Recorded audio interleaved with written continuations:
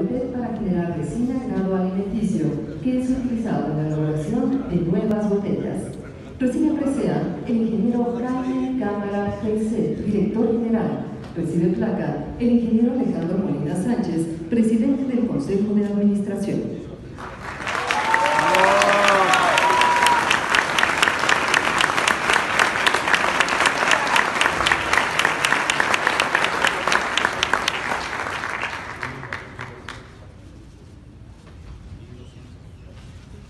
En la categoría